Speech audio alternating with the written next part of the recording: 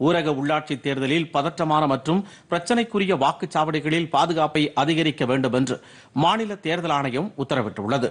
ஒன்பது மாவட்டங்களில் ஊரக உள்ளாட்சி அமைப்புகளுக்கு வரும் ஆறு மற்றும் ஒன்பதாம் தேதிகளில் வாக்குப்பதிவு நடைபெறவுள்ளது. இதற்கான பாதுகாப்பு ஏற்பாடுகள் குறித்து காவல்துறை உயர் அதிகாரிகள் மற்றும் அரசு அதிகாரிகளுடன் மாநில தேர்தல் ஆணையர் பழனிக்குமார் ஆலோசனை நடத்தினார். அப்போது பதற்றமான மற்றும் பிரச்சினைக்குரிய வாக்குச்சாவடிகளில் பாதுகாப்பை அதிகரிக்க வேண்டும் என்று தேர்தல் ஆணையர் அறிவுறுத்தினார். இதேபோல கூடுதல் காவலர்களை பணியமர்த்துவது சோதனை சாவடிகளை அமைப்பது வாக்கு எண்ணும் மையங்களில் மூன்று அடுக்கு பாதுகாப்பு ஏற்பாடுகளை செய்வது ஆகியவை குறித்தும் விவாதிக்கப்பட்டது. ஊரக உள்ளாட்சி தேர்தலில் முப்பத்து ஒன்பதாயிரத்து நானூற்று எட்டு காவல்துறையினர் மற்றும் ஊரக ஊர்காவல் படையினர் பாதுகாப்பு பணியில் ஈடுபடுத்தப்படுவார்கள் என்று மாநில தேர்தல் ஆணையம் தெரிவித்துள்ளது.